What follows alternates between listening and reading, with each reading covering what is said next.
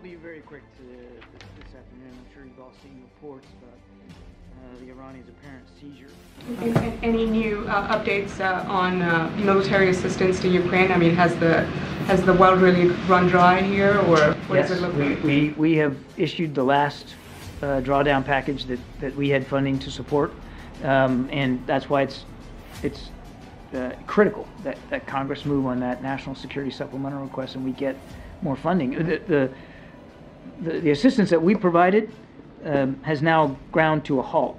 The attacks that the Russians are conducting uh, are only increasing. And now, as I talked about earlier this week, they're using North Korean ballistic missiles to do their dirty work. So um, the, it, the need is acute right now, particularly in these winter months.